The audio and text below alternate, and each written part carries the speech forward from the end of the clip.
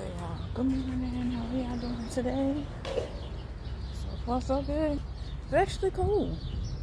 Enough for a cardigan. And it got clouds in the sky.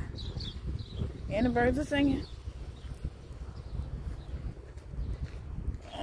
Yep. So I was gonna check on the car. And I'm gonna take the trash out.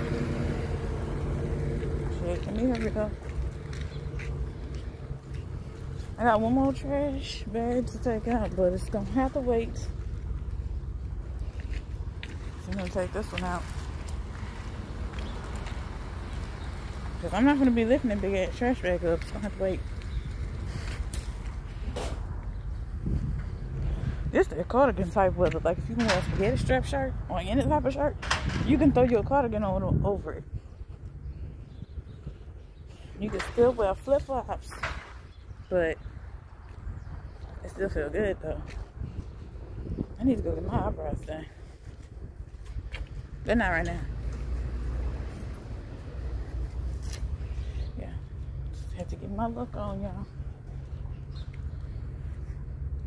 I decided, like I said yesterday, I don't know if I told y'all, but I decided to walk over one because I know trust and shit. And just like her, people walking by with shit on their shoulders and don't care. So yeah, I decided to walk over here instead of right here. And like I said, you can still see the car from here. Go back. Come on.